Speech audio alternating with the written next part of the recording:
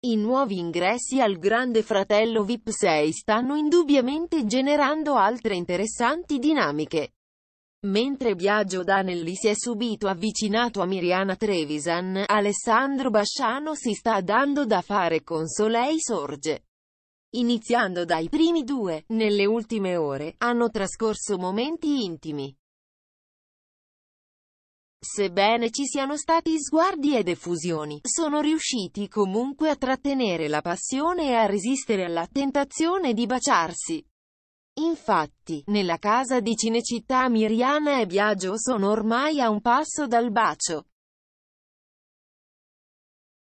I due concorrenti stanno dimostrando di avere una certa complicità e Danelli ha confermato a Manila Nazzaro di sentirsi particolarmente attratto dalla Trevisan.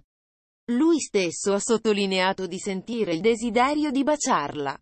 Nella serata di ieri, appartati in giardino, il bacio tanto atteso non è arrivato, ma pare che presto accadrà qualcosa.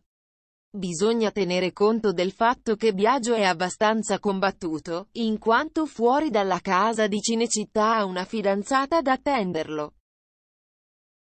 Per tale motivo, aveva pensato di mettere le distanze con Miriana, senza però riuscire nel suo intento.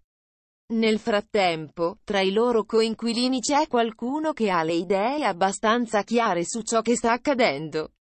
Giacomo Urtis ha chiaramente rivelato di non credere minimamente all'interesse che Biagio assicura di nutrire nei confronti della showgirl.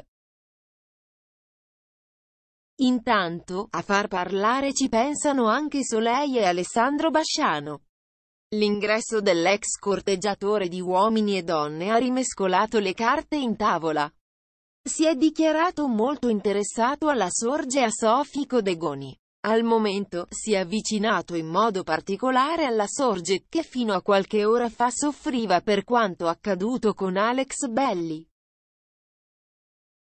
Questa notte, Soleil e Basciano al GF VIP 6 hanno dormito avvinghiati e questo non è di certo passato inosservato agli occhi attenti dei telespettatori.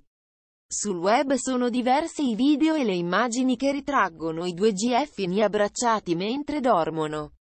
Sembra però, che da parte della Sorge questo è accaduto in modo inconscio. Infatti, il pubblico che stava seguendo in quel momento la diretta ha notato che la discussa concorrente ha chiesto ad Alessandro come mai fossero avvinghiati in quel modo. Così, ha fatto capire di non essersi resa conto di ciò che stava accadendo stanotte.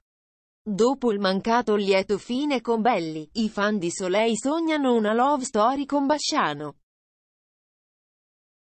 E non resta dunque che attendere per scoprire come si evolveranno queste dinamiche amorose all'interno della casa più spiata d'Italia.